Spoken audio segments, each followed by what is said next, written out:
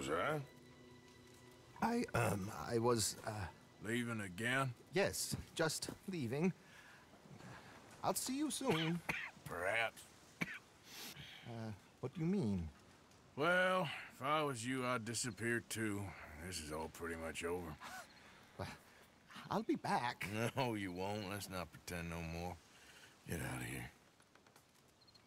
I'll miss you, Arthur. You've been a fine friend to me. No, no, let's not get over sentimental. Well, the place is quiet. Get out of here. Go with my blessing. Thank you, Arthur.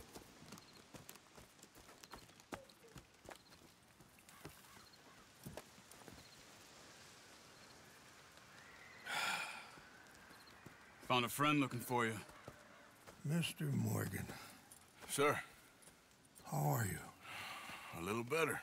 I hope so. How can I help you? I'm sorry to impose on you again, but I believe I've made progress brokering peace. You have? I believe so. Colonel Favors has agreed to a meeting to discuss and maybe resolve his alleged grievances and mine. Now, he has lied to me more times than I care to remember, but maybe this time he must want peace. Why could he possibly want to humiliate us further? We got words for his kind, but they're colloquial. Perhaps I could make one last request. My men are not allowed to carry arms. You want us to keep the peace? Yeah, it'll be a lot of dull talking and ceremony. But I feel with some non-tribe members present, their chances of lying or worse will be reduced. Will you, Arthur?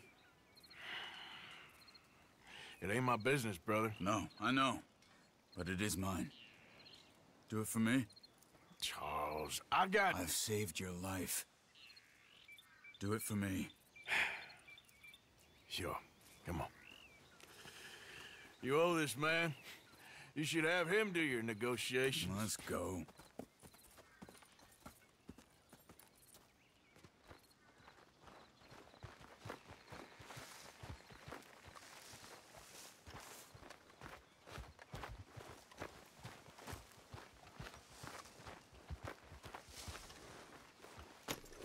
This way.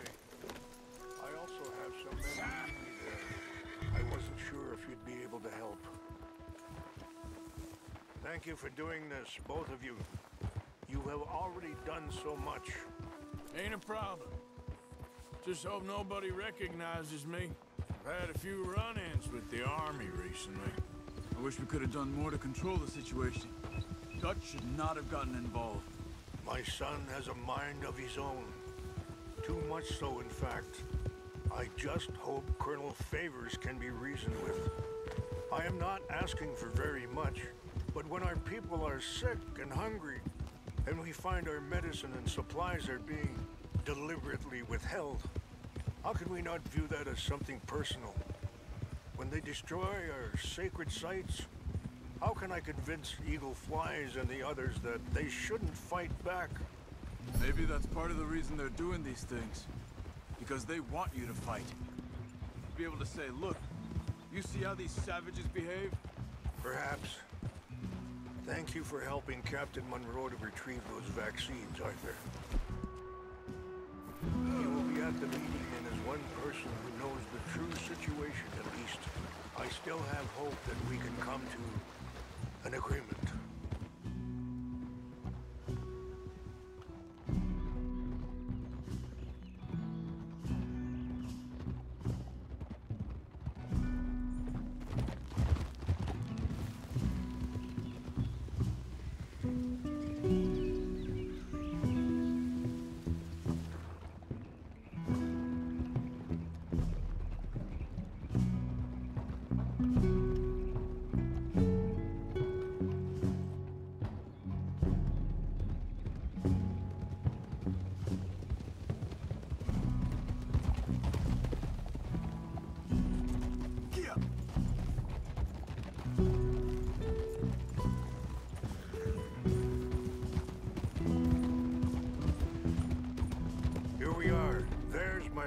Ahead.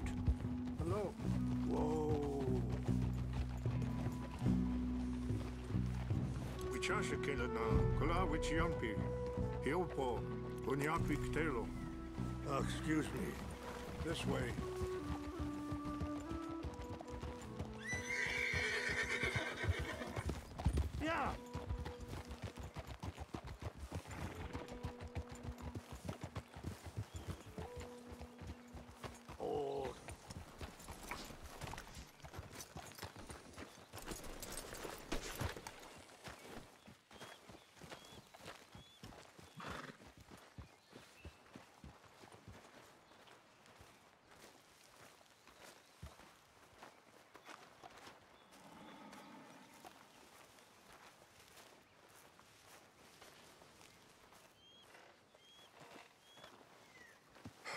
Colonel Favors, Captain Monroe, we come in peace. Hello again. Who are these two? They're uh, friends of my people. Interesting looking fellows. Know, they won't cause any trouble. Well, I should hope not. Listen, Mr. Um, Chief, yes, uh, Mr. I can't say that silly name. What is it? In English they call me Rains Fall. Yes, yes, I'm. Uh, I'm sure they do. Listen, we're all Americans here, and we want an outcome. But quite frankly, quite frankly, I am confused. Your men are little more than criminals, in my opinion. Keep breaking peace treaties we've made, causing disturbances in everybody's lives. But I pride myself on being a gentleman. Really, I do. But there are limits. So, let me be very. Are you okay, man? Someone. Jackson, take him away. Where was I? You're a gentleman with limits? Are you being facetious, sir? Come this way, buddy. I said, are you being facetious, Captain Monroe? No, sir, I am not. Chief Rains. That's uh, Rains Fall. Exactly. Chief Rains, the thing quite a is, cough. federal government. Sure. that I handle Wait here. I'll fetch you some water. I'll, I'll be fine. Thank you.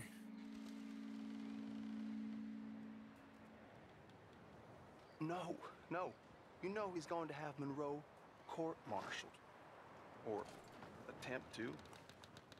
He's going to make a disgrace of him. Monroe? He seems likable enough for a West Pointer. Why? You know what Favors is like. Because he thinks it's right. Because he thinks Monroe is a patsy. Or a spy. He's convinced he had something to do with those vaccines getting stolen. He thinks Monroe is gonna force him into making a concession with the Indians. So he removes Monroe. Removes how? Favors wants him tried for treason hanged. Why does Favors care about the Indians? Because he doesn't want to back down. I mean, his whole professional life. You know what they say about him. Hightail favors. The man who missed a battle. Poor Monroe. Kinda liked him. I know. Well, still, he's kind of stuck up. Your men violated the treaty. That treaty is null and void. I have been appointed to negotiate. Feeling better? Yeah, come on. Let's go. and new lands. The lands you currently occupy belong to the United States government. Why is this so confusing, sir? Why?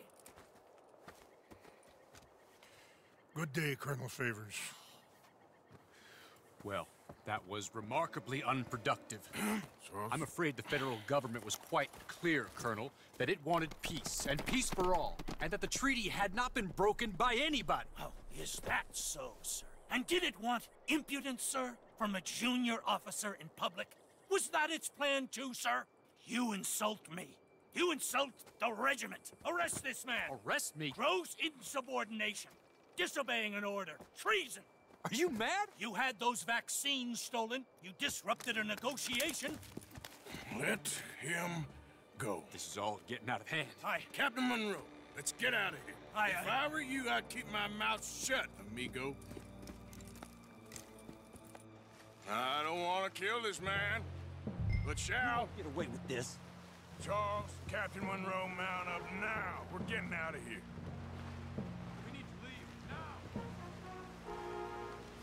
I'll kill you. What you doing? Just let him go, okay? Get off me. Open fire on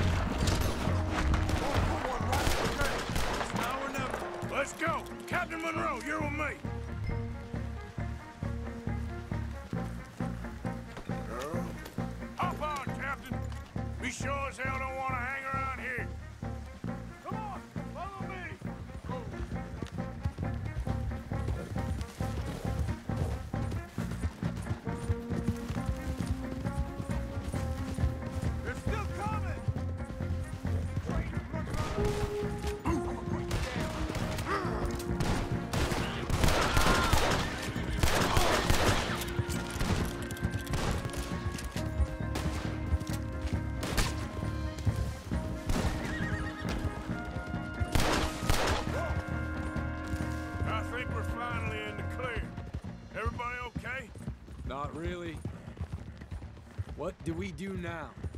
You get out of here. Fast. Take you to the station. I can't believe that just happened. I've been an army man my whole life. I heard them talking. They was gonna have you hanged for treason. You can't die for those fools. And what about the chief? We'll do what we can. I... Guess I won't be submitting my report. I wouldn't think so. Hold it!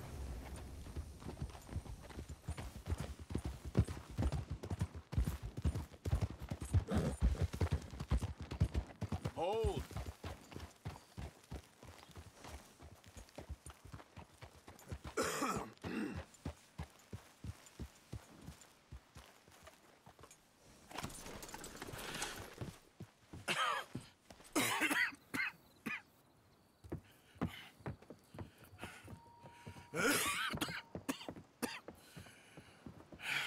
Get out of here, Captain Monroe. I fear it may be Mr. Monroe from now on. I'm sorry about your career. Here. Here's some money. You take it and get out of here and start a new life somewhere.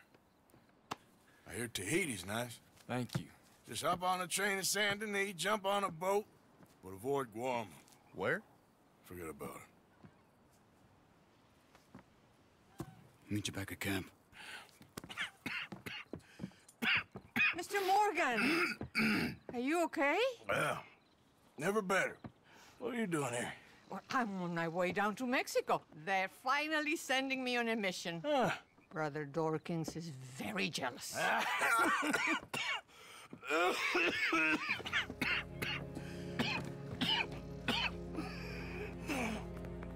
What's wrong?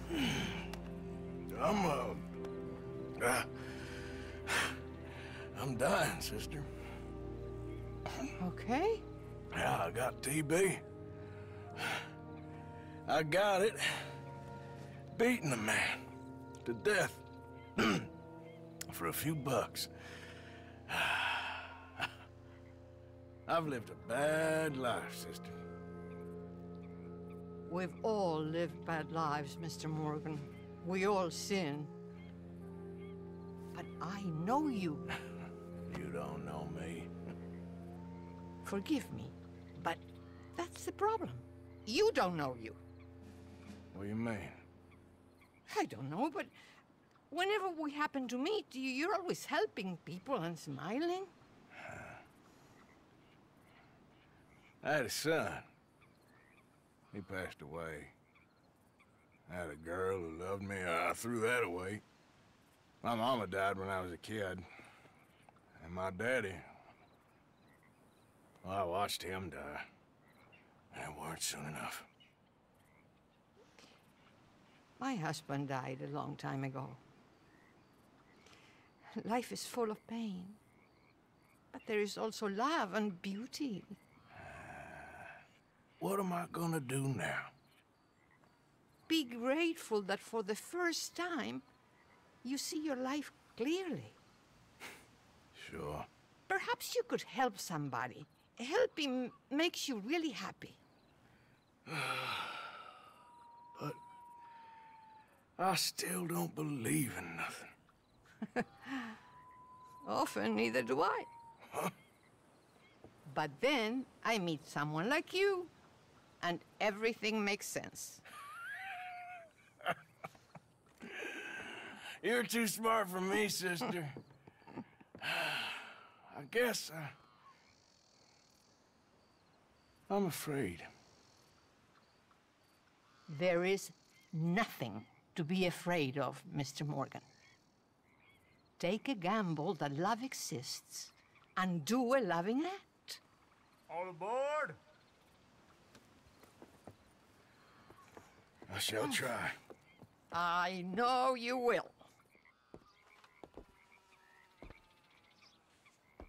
Goodbye, goodbye, Mr. Morgan. Goodbye. Sister?